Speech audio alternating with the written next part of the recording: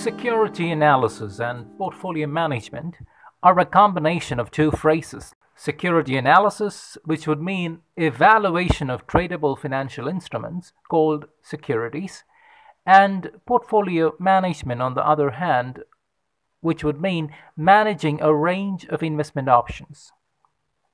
Security analysis of financial instruments using certain techniques would look at analyzing risk factors that could impact capital and return on investment, the liquidity of the instrument, and the time period for which returns are expected more so in a regular fashion.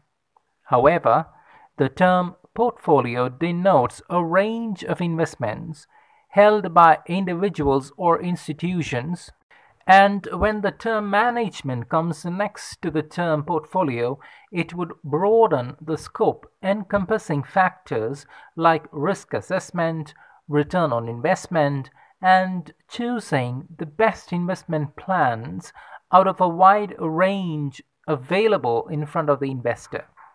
Portfolio management, therefore, minimizes risks involved in investing and increases the chances of making profit.